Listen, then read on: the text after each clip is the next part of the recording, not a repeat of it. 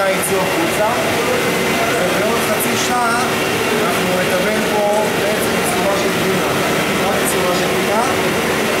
בשלב יותר מאוחר נכניס אותה להבשלה בהתאם לתהליך שלה.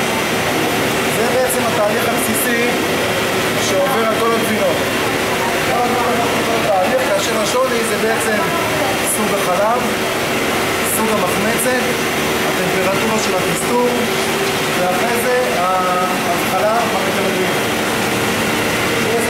갖고